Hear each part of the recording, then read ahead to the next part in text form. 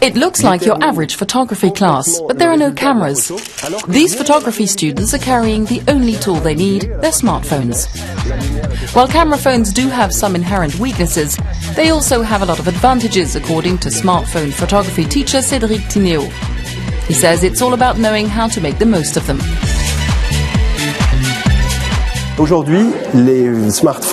Today, the quality of photos you can take with high-end smartphones is breathtaking.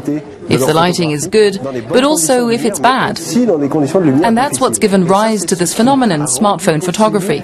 tout le reste du phénomène photographie avec les smartphones. How to compose a picture, make use of the lighting, set up your background. The advice is the same as for a normal photography class, with an added dimension. Smartphones take photography into a whole new world. With a smartphone, you not only have a camera that allows you to capture reality, but you can also add effects. You used to need a computer to do that. It allows you to add style, create an atmosphere to tell your story. With just a few clicks on your screen, you can share these photos instantly with hundreds of people. It's a fast growing trend thanks to online photo sharing networks. Instagram's 150 million users upload around 50 million photos each day. Julien Damoiseau is one of them. He says mobile phones give users a freedom of movement which other cameras don't. They're easy to handle and they're discreet. And it's easy to find out whether your pictures are any good. The internet provides the perfect popularity test. There are more and more people who use their smartphones, and it's like a revelation for them.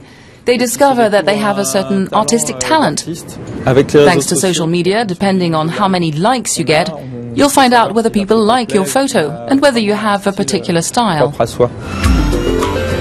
Behind each phone is a potential photographer.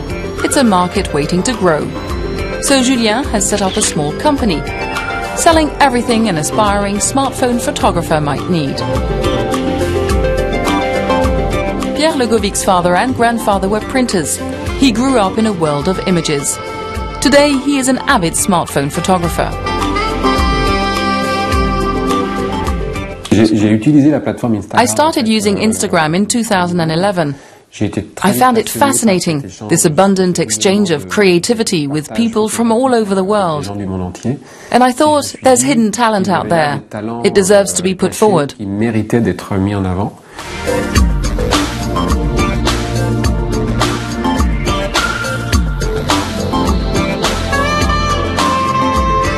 So Pierre set up the first smartphone photo publishing house. Je fais le constat qu'en fait, il- aujourd'hui, on est- Today there is a saturation of images through social network platforms, the internet, mobile phones, sur Internet ou sur les téléphones. Et, euh, and some of the most beautiful pictures get lost in this profusion. Each image is replaced by another second after second, and I simply thought it would be a good idea to print the best ones. qu'il est, pertinent de, de, coucher sur le papier les meilleures d'entre elles, en fait, tout simplement. The advent of smartphone photography may annoy purists, but it seems nothing will stop the phenomenon. In 2011, a prestigious prize went to a New York Times photographer for his coverage of the conflict in Afghanistan using a smartphone.